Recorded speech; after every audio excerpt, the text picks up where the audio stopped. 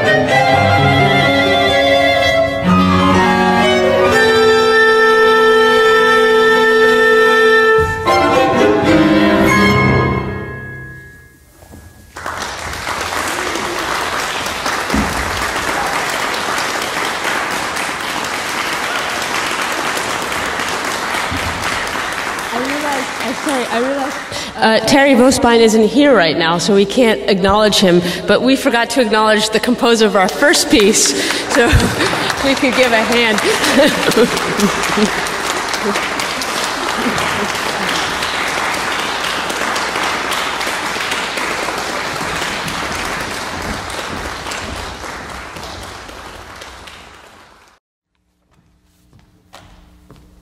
I just want to say really one thing, and that is that we're not doing all four of these movements. we're, we're leaving out the Golden Gate Bridge, so we'll go from the Stone Bridge to the Brooklyn Bridge. And I don't know whether any of you remember Victoria Bond. She she was she conducted the Roanoke Symphony for some time. She was you may not have known that she was also a very active composer, and so hope you like her piece.